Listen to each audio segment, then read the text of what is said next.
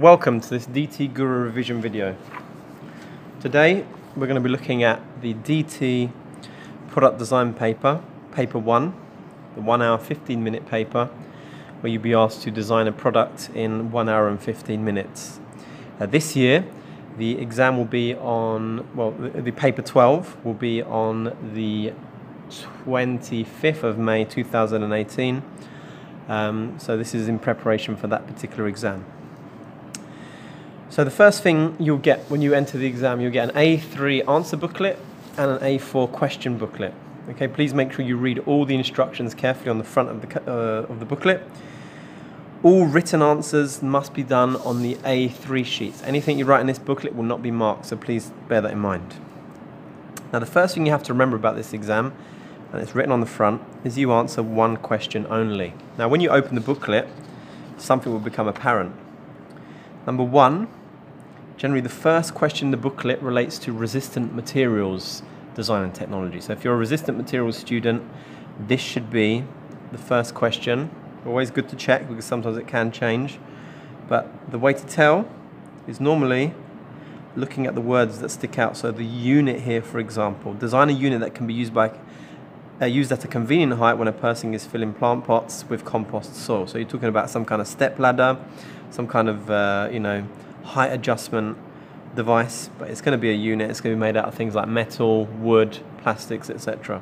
This is not the graphics question that we're looking at today. The second question tends to be the graphics question, so you'll be asked to design something out of lightweight materials.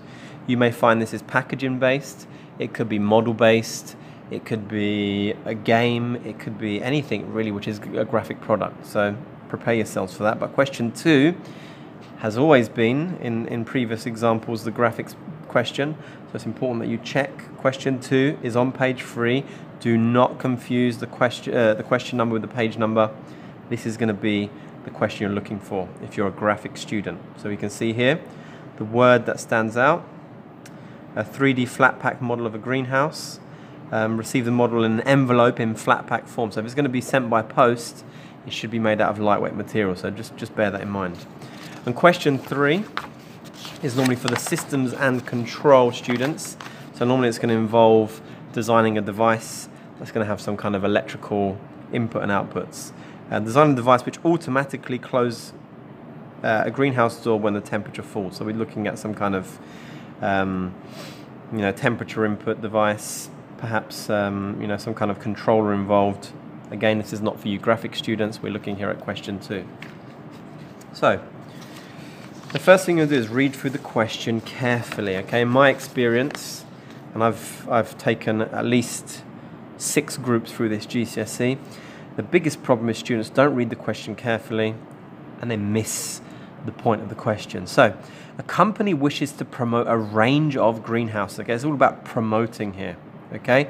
Graphic products tend to have this promotional theme, and that's very important to, to take into account. Greenhouse, okay, when you hear that word greenhouse here, suddenly you should be thinking about materials. What material do you use for the transparent parts of the greenhouse? What material could you use for the solid parts of a greenhouse? How would it be constructed, for example? Potential customers will receive the model in an envelope in flat pack form. Now, another word that stands out, stands out here is envelope, okay? Most envelopes size wise either going to be A4 size, but you may even get an A3 envelope, but realistically, we're not going to be any bigger than that, okay? A model, okay, this doesn't have to be to scale, we have to remember that as well. You know, they're promoting a range of greenhouses, they're not really asking you here to make a greenhouse, they're asking you to create a model that is going to help to promote the real greenhouses that this company sells. So taking that minute to really understand the question is very important. I know this question and this paper is very kind of uh, very much about time management, but understanding the question, if you don't take that time to understand the question, you're going to lose a lot of marks in the exam. That's very important. So, what we've got here, a question, okay? We're going to create a model greenhouse, which is 3D, can be constructed and put on somebody's desk. It's not really designed to work as a greenhouse, but it's designed to promote a range of greenhouses. So, you know, realistically, A4 or A3 could work. The fact that it's flat pack means it has to be able to be flattened and reconstructed, whether that's through the use of things like self-locking tabs or other methods, that's really down to you to decide. So we've got a now got a general gist of what the question is asking. Please obviously bear in mind that this is a 3D product they're looking for. If you don't take that into consideration, again, you're going to lose marks. Now, question A is very important. I think you, the most important thing you have to consider when you do question A is not to repeat the points they've already given you. Four additional points. Now, they've made four bold, but in fact, additional should be the bold word here because that is the most important thing about the function of such a 3D model that you consider to be important. So in this particular instance, we've really got to think about what is going to be important about this model that this particular question is asking. So you, we can go down many routes here. Okay, I think the first thing we need to really consider is the fact that if it's going to be a flat pack model, it must be easy to construct. Okay, no one's going to receive this model in an envelope and put it together if it's too complicated. So the first thing I would say, the model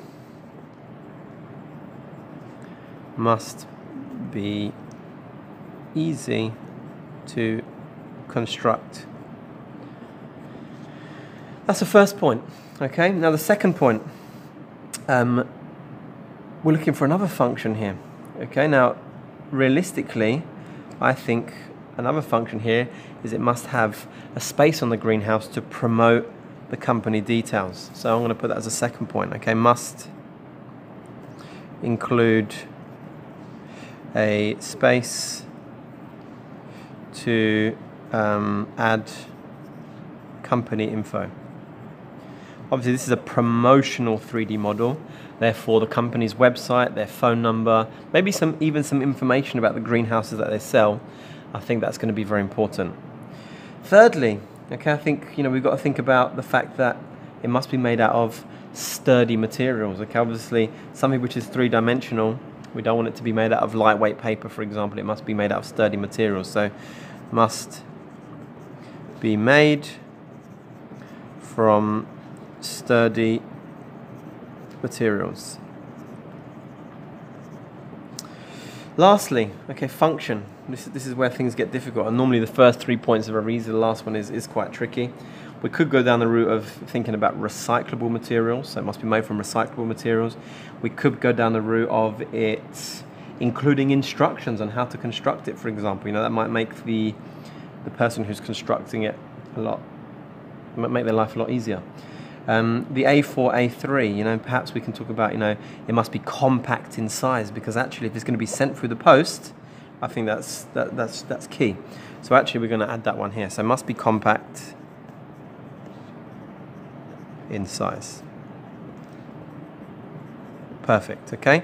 So these four points, it's very important to think about them, but please don't repeat anything, okay? You could not put here must fit in a flat, uh, must be must be designed in flat pack form, for example. That's not going to work. Must be 3D. We can't do that. Must represent a greenhouse. No. Must promote the greenhouse, okay? Not necessarily. Here we've added something that links to that, but is not specifically the same. So it's very important that you think about this carefully.